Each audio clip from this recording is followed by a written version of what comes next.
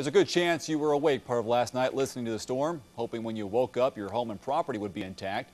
KXLY4's Tori Brunetti live at Audubon Park where one of those trees fell victim to the strong winds.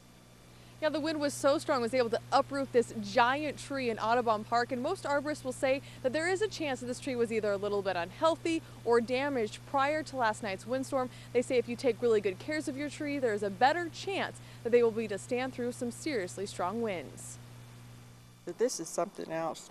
Marianne Coker couldn't believe her eyes when she took her dog for a walk this morning. This is crazy. I've never seen this before. First time I looked out the window and I said, oh gosh.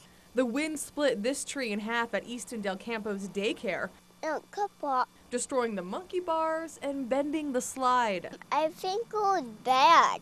Yeah. Yeah, so she.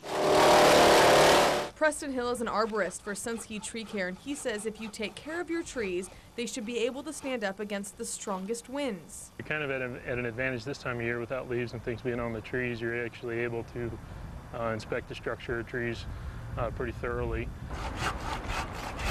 Preston says people should look for cracking or splitting in trees and keep an eye out for limbs without any buds on them. Some trees have a lot of dead in them. They, uh, they have a lot of problems that need to be rectified, and some trees are, are in really good shape and really don't need much at all. The best way you can prepare your trees for a harsh winter is to do some pruning, but not too much. A good rule of thumb is you should never take more than 25 or 30 percent of the living canopy of a tree. Good advice to protect the trees and any playground equipment standing in the way. Now I can't play on it.